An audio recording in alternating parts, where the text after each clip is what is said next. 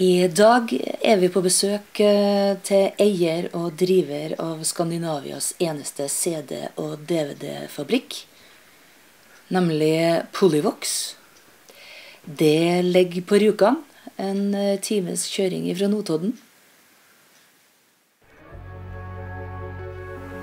Når du eh, kjøper CD-en vår, enten det er på nettet eller i butikken, så er det ifra de her hyllene her den kommer ifra. Det har skjedd mye med Reloaded etter plateslippet. Vi hadde ei super feiring på Teledøren og for direkte derfra til Vestlandet på turné. Der ble vi møtt med hinsides flotte kommentarer og gode ord. Eh, vi har òg runda over 1000 medlemmer på Facebook-sida vår. Og vi vil sjølsagt eh, gi noe tilbake.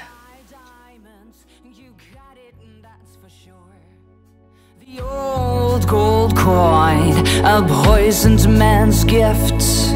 Your prize is what matters, it never gets too much. With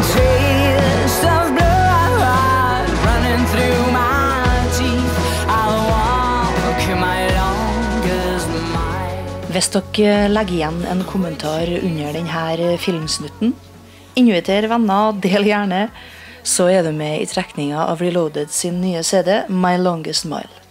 Tusen, tusen hjertelig takk til dere alle.